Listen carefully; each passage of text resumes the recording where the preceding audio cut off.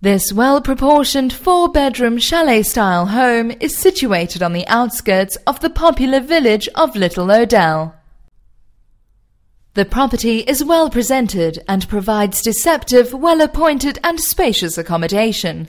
It occupies a large plot within the countryside location, offering superb views to the rear. The property is entered into the entrance hall, which has a door to the cloakroom and an archway leading through to the dining room. There are double glazed sliding doors providing access to the conservatory, which has views of the garden and countryside beyond. Doors from the conservatory provide access to the patio and garden.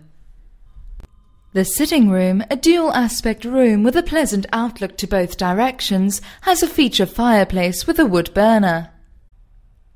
The well-equipped kitchen is situated to the rear of the property and has space for modern electrical appliances and again has superb countryside views to the rear. On the first floor, the master bedroom is positioned to the rear of the property and has built-in wardrobes. There are two further double bedrooms and a single room.